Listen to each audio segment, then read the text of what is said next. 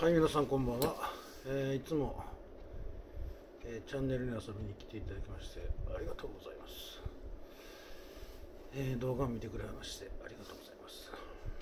えっと今日はねあのうちのチャンネルでも起こり得るようなことのお話をちょっとさせていただきます。あのライブのことなんですけどね。あのまあまあ普段あ僕ら、えーっと僕言うとあれ僕じゃじじいやけどあのあれ自分はね月曜日とえーっと月曜日がメインでねで水曜日と土日ライブ配信してるんですけどね。あのーまあいろんな方が来られますよね。でその来られてる方まあ例えばえーどうしようかな。まあ A さんと B さんと C さんがいてますね。ライブ始まりました。A さん B さん C さんがあの俺のライブに入ってくるとしましょう。ね。えー今度、えー D さん。D さんがポッと入ってきます。D さんがね、まあ、今3人のうちほんで4人になりましたね。でその D, D さんが来た瞬間に A さんと B さんがおらへんなりました。ライブから。消えました。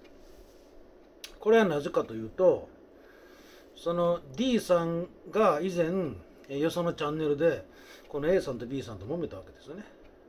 ほんでまあちょっと、えートラブルみたいになってほんでやっぱりライブは降りづらいから消えますよね。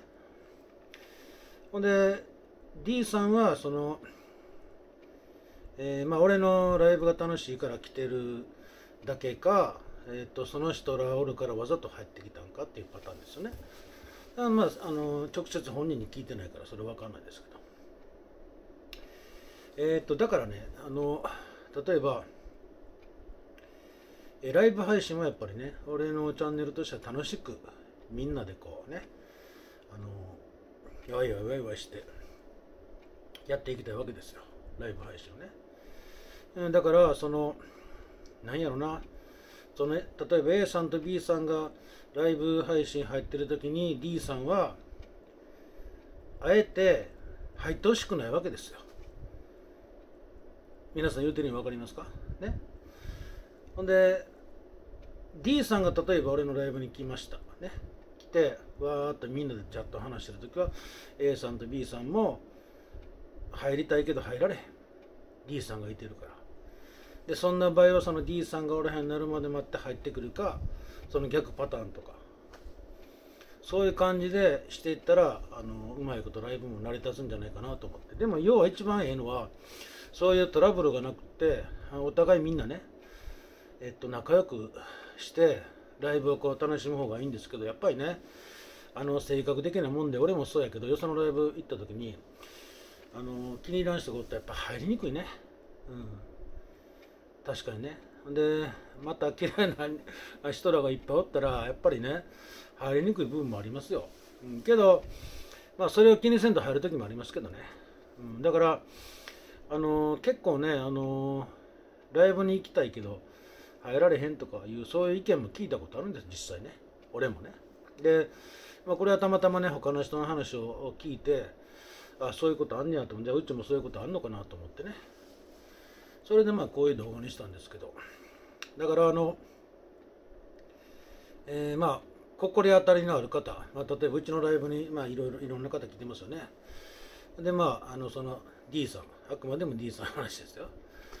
がそのもしかそういう人らがおってもできるだけ入ってこないようにしてほしいわけですよ。言うてる意味分かりますよね。で俺は別にねその D さんのこと嫌いなわけじゃないんですよ。D さんのことも好き。A, A さん B さん C さんも好き。全員のこと好きなんやけど俺にまあ害はないですから。あの A さん B さん C さんも D さんもね。だからあのほんまねまとめてみればみんな仲良くできたらライブ配信は楽しいかなと思って、えーそういう話ですけどね今日はね、うん。やっぱりそうですよね。あのライブそれと挨拶ね。あのやっぱりねえーっとうちのライブは別にまとめてとかでも構わないんですけどあのまあ、ライブに参加する挨拶だけでもいいんですけどね。中にはねあの、まあ、例えば挨拶俺入ってきても挨拶しよらへんっていう人間おるんですよ。あの俺昔そうやったんですよ。あのまあ昔の話にそういうライブでの挨拶せんかどれも怒ってたタイプなんですよね、なんで俺のこと挨拶してくれへんねんって。昔は怒ってたタイプなんですよ。でまあいざ自分がこう配信してみたらあのあなるほどなと。チャットも読まれへんこともあるし。でも今はそうでもないですよ。あの人数もまあこじんまりしてますし地域密着型みたいなライブになってますけどね。前はね結構最初の頃はね結構あの人数もいってましたんでね。